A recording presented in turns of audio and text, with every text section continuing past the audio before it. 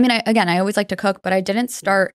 So I didn't start posting on social media until it was actually my boyfriend was the one that was like, "You need to start posting on social media. You need to put your face on it." And I was like, "That's so cringy."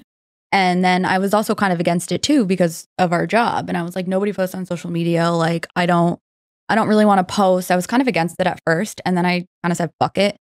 I was like, I don't really care what people think anymore. And I started posting. And then the more I started posting, the more opportunities that I got.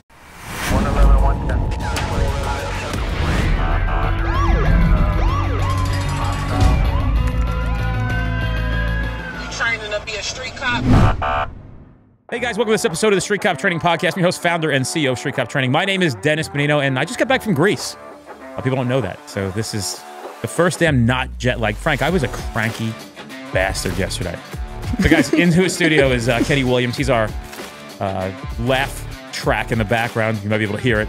He's been filming stuff all day. He's here in New Jersey, as he typically is for the June uh, tour, Red Ninja Tour, here in, in New Jersey. But anyway, today good, interesting, different kind of podcast. Somebody I reached out to, I saw her Instagram. It intrigued me. I thought it was really cool. She has no idea why the fuck she's here. she really, you have no idea why you're here. I could assume why I'm here. Yeah. Well, let's hear what you. What's your assumption? I would assume that I'm here because you need to figure out how to not make law enforcement your life and figure out hobbies outside of law enforcement. Mm, you're close. Somewhat close. You're close. We're gonna explore some things. So her content's really fucking good. I want to dig into her business, the stuff that she does. Everybody's got to follow her. You're gonna like her shit. It's really good. But I already practiced her last name. I'm gonna give it a go. Alexandra Donnadio. You got it right. Yeah. So, just so we're clear, you're a law enforcement officer in the state of New Jersey. We're not mentioning names, but tell me about where you grew up, how you ended up in law enforcement, and then we'll go into start talking about what I'm really interested in is to find out where this cooking passion comes from. And I just want to point something out real quick. Here is somebody who is quote unquote a professional chef, Italian, and shows up to a fucking studio empty fucking handed.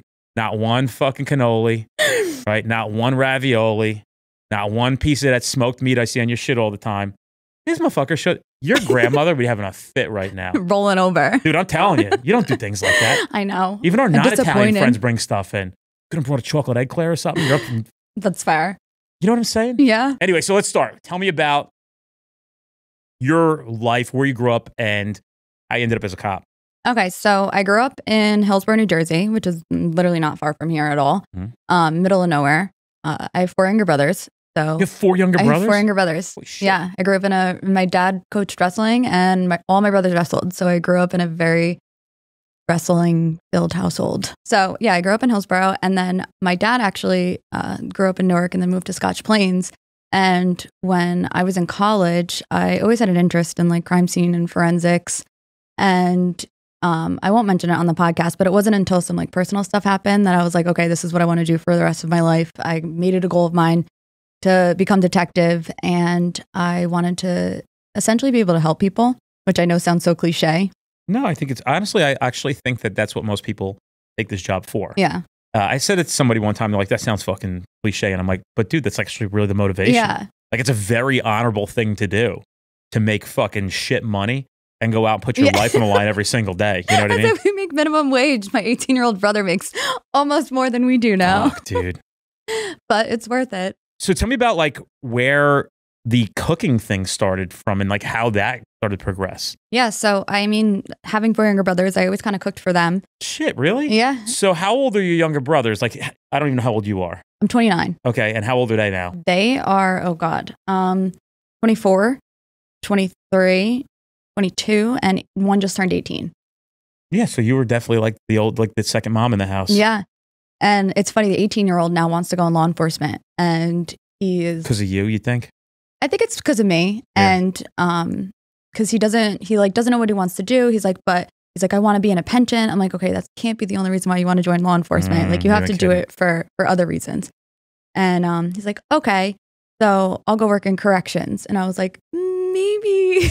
I was like, Luke, you like to eat snacks. You cannot work in corrections. Like, you don't have enough discipline for that. Go to PD or go to a sheriff's office and start out there, and then work your way up or work your way out somewhere. Yeah. I don't think people work their way from a police department to a corrections division. No. It's usually the opposite direction. And by the way, just to be very clear. I worked in corrections for a couple of years. Um, it is a very, very difficult job. Uh, I commend everybody who does it. I think about you guys and girls all the time, and I know that you're like the unsung heroes, but at least there are a lot of us who appreciate what you do, and we know how difficult the job is. So that's not a Yeah. knock on corrections. No, absolutely Yeah, not. I think at 18, you know, it's hard to be set in stone in a job that is difficult.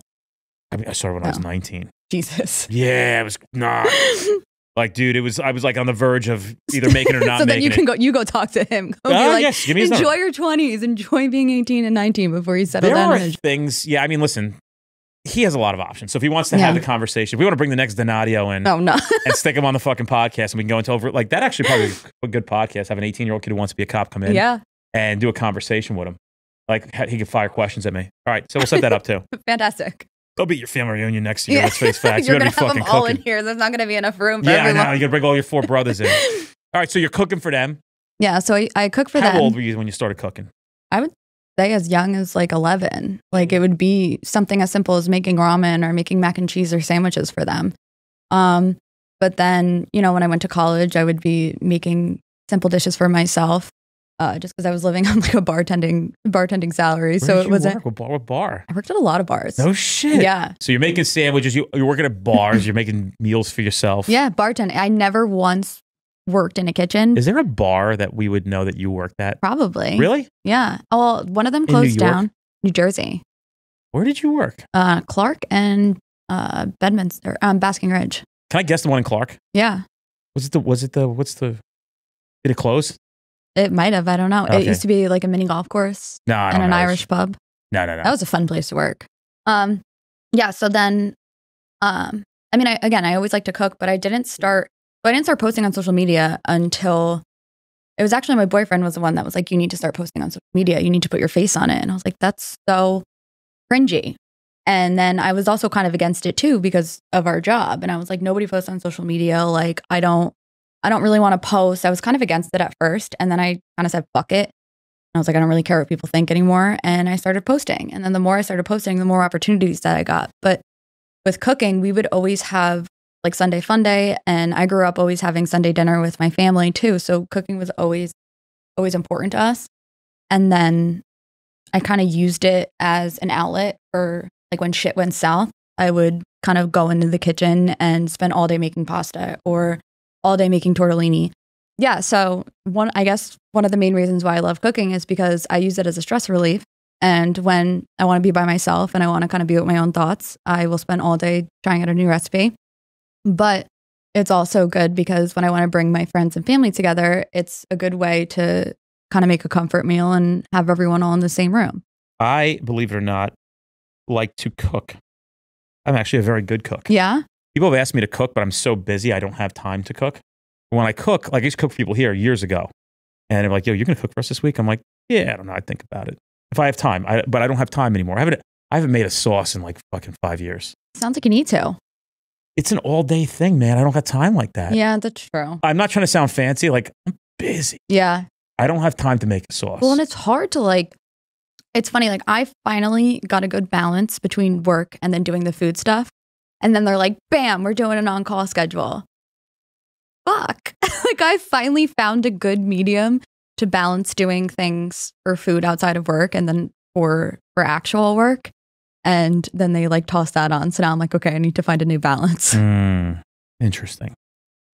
How has your job responded to your social media stuff? They give you a hard time Um, no, no one really gives me a hard time because because it's really, it's really bland. Like I, It's it's, food. really good content. Thank you. Yeah, like I feel like I try to keep it as appropriate as possible, Yeah. and I try to not mention anything about where I work or anything about people what I do. know you're a cop? No. no. Yeah, I didn't think so. no, it's really funny. Like I'll go to events and they're just like, "Oh, you're like an influencer," and I'm like, "We'll go with that." Like we'll we'll leave it as as just that. like no. I think you're actually on the verge of like a, and you're probably going to tell me this afterwards if I kind of read into things of really going there. I think you got something very, very special. Thank you. I hope. It's like it's funny because like I do all the filming, I do all the editing, I do That's my point. everything, which is such a learning experience and so difficult. It's slowly getting easier to do. And I finally got a camera, so that's a Tell us your forward. handle on Instagram so people know where to find you. Are you on other platforms as well? I am. So it's cooking with Zandges. what does that mean? Well, my full name's Alexandra. And growing up, none of my brothers could say my name, so they all called me Zandge. I love it. I don't know where the spelling came from. And then I made it Zandge because I honestly didn't think that anything was going to happen from posting on social media. And again, like I didn't really want anyone from work to know, like, oh, I'm posting. I don't know what the reason behind it was, but I was just like, oh, I'm going to keep this secret. Like I had a baby photo as my as my oh, handle Profile, yeah. photo, like so nobody could know who I was. And then I was like, you know what? Fuck it. Like I'll just go. I'll just go all out. So posting with Zan, spell it for everybody so they can follow you. You should honestly, I think everybody should follow her account. you might get a few followers from this. I from this- hope yeah. so. Yeah, oh, yeah, I think you're gonna be good. Yeah, Listen, it's worth it. I, I, think, Yeah. I really, I think everything is done. So when I saw your shit and I was like scrolling through people's stuff, I was like, who's coming to these classes? I was like, this is good. Yeah. Like- well, it was so, he was like his class was awesome. Like I would definitely take one of his classes again, but and it was in the woods too, so we could start a fire and then actually do barbecue out there. You should do something like that. Yeah. So like in business, anytime you have a thought and it sounds a little silly like that, that's where the gold. is. like barbecue and shoot guns. Oh my god, you're like making my fucking like creative juices flow. Like you have no idea. Flip the steak and shoot and shoot. Oh, like that's exactly right. Why not? No, no, no. When it's nice out, That's you're going it. down there. That's it. That's Yeah. exactly what you should do. If you do a video of you cooking and shooting at the same time, er, you're gonna get eighty thousand followers. Well, and it's so funny too because like my boyfriend says it all the time. He's like, you should just tell people like what you do during the day and like add incorporate that Mhm. into your social media. Mhm. And I'm like, He's I right. I'm like, I don't know if I'm ready for that yet. But you know what? I should just say fuck it like I did last time. Why haven't you gone into a profession of cooking? I don't know. I think I do know. I know why. because you're worried. Yeah. You, you like the safety net, quote unquote, of having a job. Job. Oh, ab- well, yeah, absolutely. Mhm. Absolutely. Because it pays the rent, it pays the bills, it pays what I need it to pay. And then I too didn't think sometimes I feel like I underestimate myself when it comes to cooking. Like I know I know I'm good at it and I know that It's have- very special. It's a very special page. thank you. Yeah, I think that you are really underrating and under undervaluing yourself. And I think you have a you're sitting on something very, very interesting. And I think it looks very different than a lot of things. And I think you could do a lot of stuff. yeah. And I'd be happy to give you some advice anytime you want. Um, you're not the only person I would give some business advice to. Yeah. But the, you know, I, I look at it and I'm like, that's kind of why I wanted you to come here because I wanted to start going into how come you're not doing that? Yeah. if you could make if god said to you right now like tell me what your life if you could make a life for yourself right now what would you ideally be doing in the food industry social industry tell me about that Okay. So I think I would open up well, it's very hard to open a restaurant, but I think I would take my chances and open up a restaurant. can i ask you a question why do you think it's very hard to open a restaurant Because a lot of them fail you know why they fail because people have a negative attitude. no because people don't know what they're doing That's fair. you know what's crazy in business you could be shitty at business but if your product is that good Yeah. you could not know dick about business and still survive and grow because your product is that good. And I see it. Well, and that's like all the small dinner parties that I do. I've literally been doing like 10 to 15 people dinner parties because that's all I can handle by myself. And, you know, I want to be able to do more with that. Open a restaurant, cook what I cook what I love. This is where I wanted to go with this. Yeah. Tell me about that. And we'll go back to the other question. dinner parties. What are you getting for 10, to cook for 10 to 15 people? It depends. Um, so normally the way I've been doing it, because I am terrible at math and I'm terrible at numbers, and if I could cook for free for everyone, I would. Um, I print out a menu so you can either pick like two appetizers, a salad, and an entree. Um, I can't bake to save my life, so dessert have to figure Most out. Most people don't cross over into baking. yeah, I'm not a baker. I don't give a fuck about it. I don't like, I actually, I appreciate some desserts, yeah, but I don't give a fuck about them. No. Like I do about like smoked meat yeah. Like or, or, even like a tomahawk. delicious. Yeah. Um, but yeah, so I'll, I'll make a menu. And then what I've been doing is I'll say, like, pick what you want off of this menu. And I have an idea of how much it costs. So then I'll like put, this is probably a terrible way to do this, but then I'll like take everything that I need, put it into the like online shopping basket, and then I'll divide it up by how many uh, people are going. And then I'll do like a per person where I can still make some money. Do you, how often are you doing 15, 10 to 15 person dinner parties? I haven't done it in a while, but I've been doing different events. So like a couple weeks ago, I did Brisket King with one of my friends, Joey Machado, who's like famous in the barbecue world. That's he's cool. literally like he's such a nice, nice person, and They always are, his wife is awesome too. Like are. it was just so.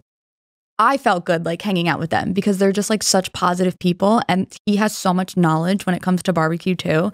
So like, it, it was just a great time, and he ended up placing in uh, Brisket King for Don't Mess with Texas. So him and his wife drove up from from Texas and brought all the briskets. I We, watch your shit. I know everything you're talking Yeah. about. I find Yeah, your so stuff we did- very We interesting. did that. Yeah, so I've been I've been a little bit busy doing doing that, and then I have a couple other events coming up that are very similar to that as well. Um, the last one that I did, I didn't do ribs, but I did kind of I posted it on my page. It was like if focaccia bread and cornbread had a baby, and then I roasted jalapenos with Mhm. like a roasted garlic oil, and I ended up making that at uh at Rib King. Yeah, I saw that. Yeah. You sold it too, right? Oh my god! Well, so like that was what expenses were paid, and it was literally one of the first things that was gone. Like I made over seven hundred portions, and we ended up cutting the portions in half because people kept coming back, which was a great thing. And um, and then we ended up running out like two hours before the event. Hey, everybody, I'm Heather Galogalich, instructor here for Street Cop Training for the course The Complete Female Cop. This class is not just for females, it's not just about gender specific issues. It was really formed in order to allow people to find that passion again for policing, to understand that their self identity doesn't need to be changed just because they want to fit the mold, and to really help bring about change. Change in the profession, not just for women, but for everybody, to be heart led servant leaders. If you're interested in taking the course, you can visit streetcop.com and search Heather Galogalich, and you'll be able to find it. I'm also really excited to announce that I have a new course coming out. It's going to be called Be the Change. Some of the great feedback I got from this year's conference in Nashville was that the men in this profession didn't feel like they wanted to take a spot away from the women that they work with for my first course that I teach.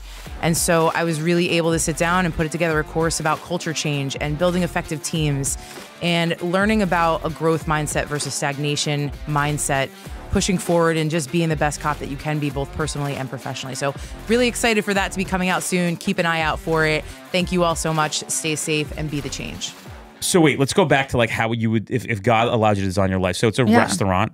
I would do a restaurant. Um, I would obviously do cocktails because I love mixing cocktails and like mixing You do together. not know the gold mine you're sitting on. You have no idea No. the potential that you have. And like we're gonna talk about this off the air because they're gonna like I don't want to put you in a position that you're like, you know what? I am leaving my job. Fuck everybody. Bye. Right? Well, and that's what like I was telling you before is like I'm so grateful I'm in a position where I have leniency to like take comp time when I need to, Mhm. and it's it's not a, as big of an issue as it would be at other departments.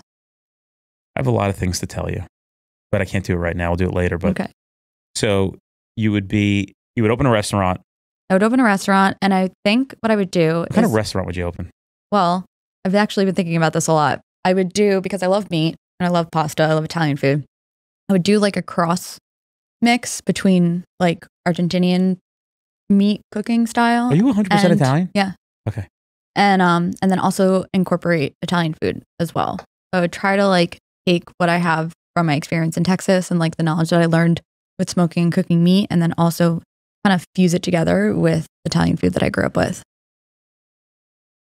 I feel like you can't go wrong. I have so many those. fucking ideas that I can't. And by the way, Sean Grogan just walked into the studio. Hi. Yeah. He's my old partner. Did you know that? Now he's an instructor at the, at the, at the company. That's awesome. Yeah. So when did you start filming the content? I would say so. It's funny. I had a page before I have the page that I have now.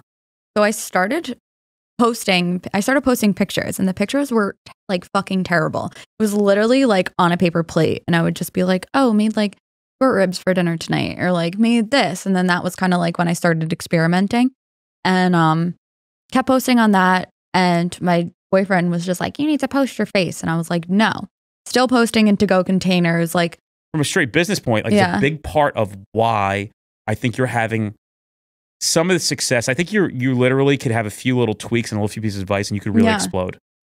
Like no bullshit. yeah, Like I think that you're right there. And that know, was like like, I'm told Frank, I'm like, I'm bringing her in because I just want to fucking business coach you and just unlock that next door for you where you're just like, I didn't fucking know I could do this. Yeah. Well, and that's what it is too. Like I say it all the time. I'm like teetering on the line of like, I'm literally right there.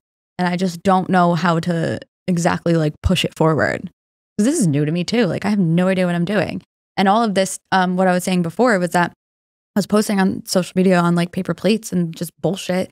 And then that account actually got hacked and I couldn't get into it. Granted, I had like a thousand followers. Like Mhm. it wasn't a big deal, but I was like kind of upset about it because I was like, I lost everything that I've been posting for the last like two years, which was literally, if you go back and look at it, it was nothing. And so I made a new page. And then that was my, uh, my boyfriend was like, okay, we're going to take a picture of you and you're going to post this on your page and you're to like do X, Y, and Z. Then I started filming more. I started editing more. I started like trying to take it a little bit more seriously. And then that's kind of It's really done well. now. It's very done very well. Thank you. let's talk about let's let's go to the business side of this a little bit because then I I I, I do want to reverse engineer how you're going to that next level. But let's talk about this a little bit just to help you some things now. Um, I think that you can film, and I think you should send the video off to Upwork or Fiverr. Uh, we'll give you our people who will edit stuff for you for five bucks, Yeah. seven dollars. Uh, not everybody does that. Some of our real magical stuff we have we obviously have four or five in-house editors here, Yeah. but that will save you a lot of time. My God, I edit videos. Like it's so funny. Everyone at work, like, Do you know most wedding doing? photographers and videographers don't even edit their own shit? They just film it Yeah. and they send it off to be edited somewhere else. Well, and that's like all these like events that I go to. They're just like, oh, who does your videos? Who does this? X, Y, Z. I'm like, I do. They're like, what? Like, I'm like, yeah, I'm a peasant. Like, I do all of my own stuff. but like, you can take like seven bucks and go and like let somebody else do it yeah. Oh, absolutely. for seven dollars, and it'll come back really good. Yeah. So And why then- waste the time? Then you can spend more time on other things. Yeah. Or cooking more and like trying to experiment more. Other things, right? So you could film more things. You Yeah. put more content out. So business, just little business 101. The best business people know how to prioritize hmm what they're doing with their time in their day. Albeit you might have 700 things to do. Yeah. The best person can select the things that are the most important to do. Sometimes I set a timer. Like I if I know I have like 8,000 things to do, like and I don't want to get distracted easily, like I'll set a timer. Like I'll sit on the couch and be like, okay, I'm going to edit for 45 minutes. Set a timer for 45 minutes. And then I'll get up and do what I have to the other thing that I have to do. That's your first piece of homework now is to spend the seven dollars. on getting someone to edit my videos. Yeah. okay. Like I'm telling you, you're making a huge mistake Yeah. with that. Leverage is everything. Yeah. If you're the person who's into this, obviously you have to film. They're not going to be able to fly you from the Philippines and film you. But um, you know, you're going to spend that time doing those things. I think the content's great. I don't think you have to change much. I like when you talk more. Yeah. to the camera. Uh, but I don't think you need to be Julia Child where you're like, we're going to take this and put it in the pan, heat your pan, because that's what everybody else is doing, right? Yeah. Right. So everybody else is telling you how to cook. I think watching you make it without saying much about it Yeah. is pretty cool. That's why sometimes I try to do the voiceovers too. Like, but a lot of the stuff, like I just make up as I go along. That's why there's no like recipe Yeah. or there's no You're nothing. super creative, man. I get People don't realize. I, I, I hate to be like, you're. To me, it's like I'm talking to somebody who, uh, with the right dialing in, may have a real, maybe on a real stride here to go do something really good. Um, so my goal is to try to help you understand some direction, calm some of your fucking anxieties down about the world. Yeah, everybody has yeah. them. Oh, absolutely. Um, and I, I just you can tell the passion in the work yeah. and that's that's an important thing to have. A lot of people don't have that because you're so passionate that you're doing things so stupidly in business. Like it's just fucking. No, you're right though. I know. So before you go into a restaurant, when you're going to business for the first time, this is for everybody. You want to keep overhead expenses as low as possible. Like that's the last thing you want to do is be signing leases yeah. and you know without an investor who is believing in your in your side of things and has an unlimited amount of money bills will kill a business fast Yeah. so the least bills you have there's a book called the lean startup it's a really good book to read so if you actually start understanding business in the sense of like grabbing some of these books and then infusing some of this business knowledge with your passion for cooking Mhm. you might be on a real gold mine here Yeah.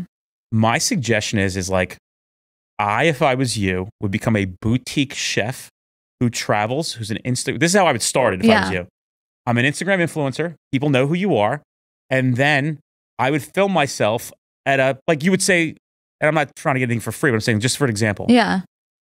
hey can we film that why don't we do it at your house in your backyard i got the backyard for it Yeah. We'll film it for you. You come over and cook. Tell us what you're making. Show you serving everybody.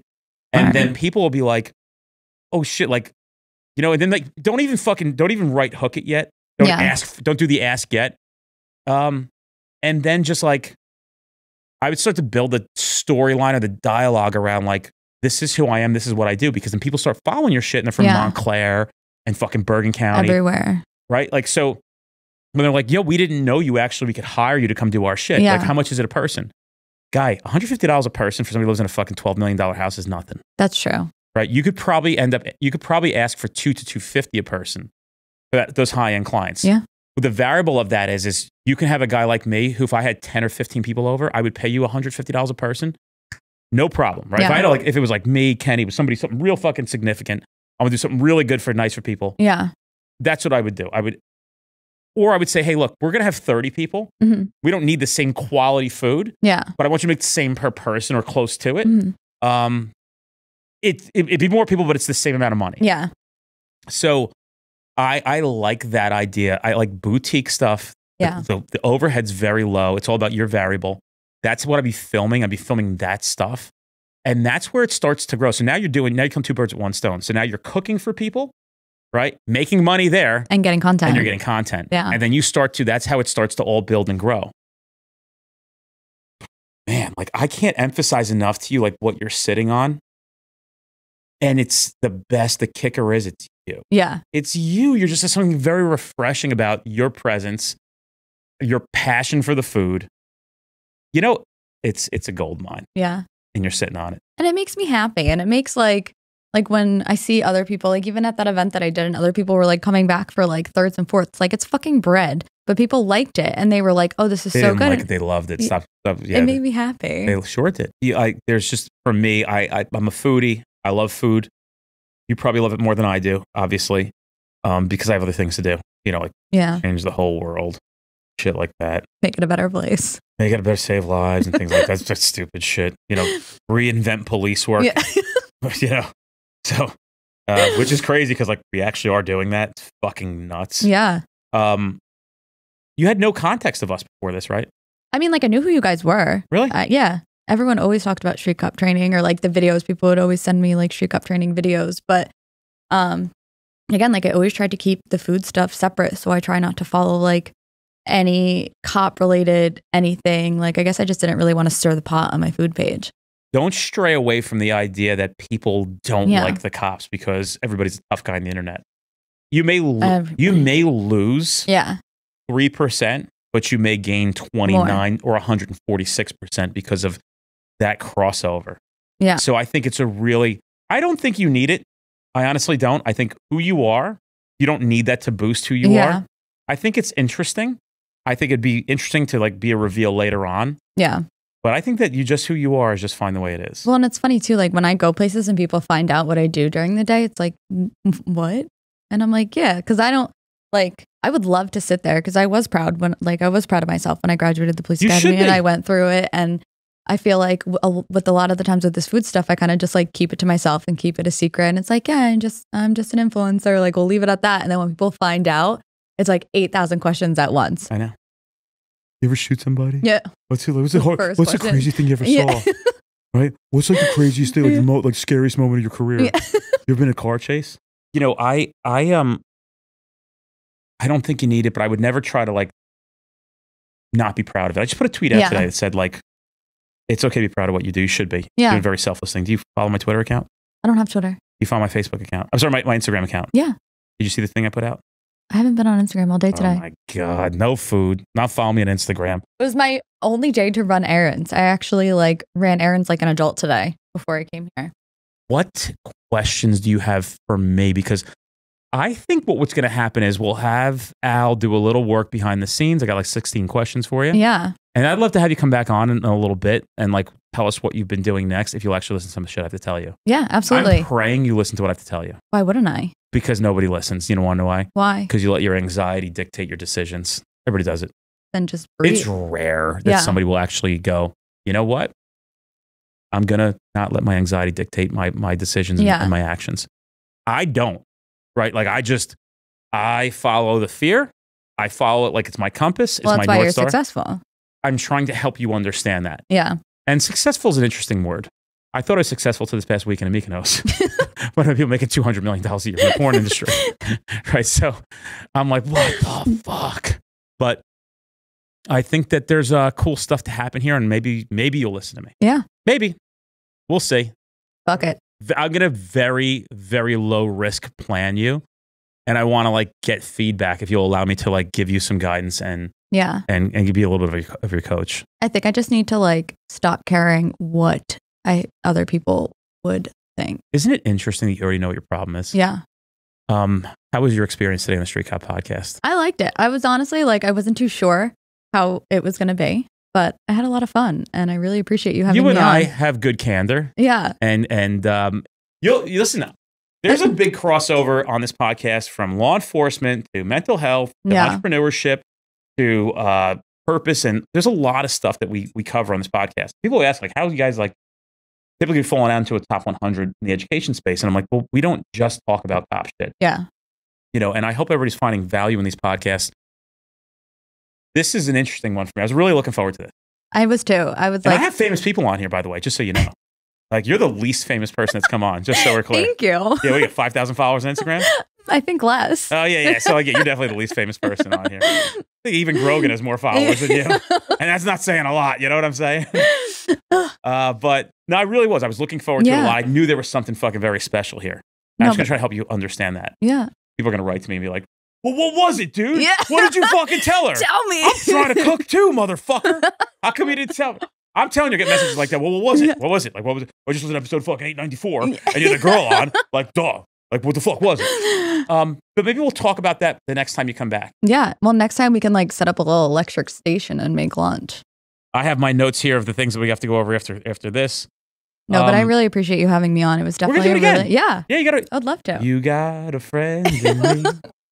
you gotta wait. So for everybody who didn't hear it the first time or the second time, tell us where they can follow you. And I really, guys, I'm serious. You should follow her. She's a very interesting account. I'm like giddy about it because I just know it's gonna explode. You are on the cusp of it, and I just gotta give you. I gotta tell in a little bit. There. Yeah, you are right there. The content's excellent. Thank you. I work really hard on it, so that really means a lot. Oh, it's very good. Very, very good. I'm very impressed with it. You It's should very hard to pull that off. See in the kitchen, it's like it looks absurd, but then like like literally, it's like me. I'll like lift a plate up and then like stop recording and then like put a plate into so I can get like a good transition when I edit things. Yeah, yeah, yeah. Oh, But- listen, you know what it looks like behind the scenes here? You should come for a day. I would like love a field to. trip here. It's like yeah. you want to watch me film TikToks outside, right? Like it's like, and then the fuck, Yeah. and then the U.S. fuck. All right, Well, that's why I do the voiceovers because you should see the amount of times, like, if I'm sitting there with a plate of food and I'm like, okay, like, I forget words. I'll be like, tonight we're making pasta. And I'll just be like, pasta is tonight. I'm like, fuck, that's not what I meant. Like, I'll have to redo it like eight or nine times. So when I first started doing this, like seven years ago, I mean, like five years ago, five and a half, six years ago, dude, it would take sometimes like 65, 70 times for me to get shit right. you know, now we have the like newer guys coming like, you're really good at this. Like you just got that done in one shot. And I'm like, yeah, I've been doing it for a long time, bro. This is like my 945th video that I've done this fucking year. This is my life. I'm in front of a, Yeah. I'm natural. Dude, now I go on other people's shows. You know, maybe maybe a couple years ago I'd be like, "Ah, nervous yeah. nervous, right? And now I'm like, I just so calm. Yeah. I'm just so you just get used to it like anything else. The more you do, I feel like the easier it gets too. Like, and I think I made a video about that where like I'm slowly getting more confident in front of the camera because it is an awkward thing to do. But I feel like the more interviews you do, the more times you're in front of a camera, the more you gain confidence and the more it becomes a little bit easier to just be yourself because it is intimidating to have a camera in front of you and you're like, okay, speak. And you're like, oh my God. you did really good today. Like, thank you. Yeah. They find you. Tell us about it. Um, cooking with Zandges. So it's going to be cooking with and then Z A N D G E underscore S. You get like seven files from this podcast, and we're just gonna find like, Frankie, check the analytics again. the fuck We're done. Yeah, what the fuck? Like, you're not coming back now. and that's on. You're on Instagram, Facebook. Instagram, Facebook, TikTok, YouTube. Oh, she has your TikTok doing? I didn't even look at it. My TikTok, I almost have 10,000 followers now. Yeah. Because I start, I was posting more on TikTok than I was on Instagram for a while because I thought that that was like, Mm, Let's go through all your accounts after this to and talk do. about what things you can do to Yeah. improve what else we, we think you can do. okay. Guys, Alexandra Donnadio.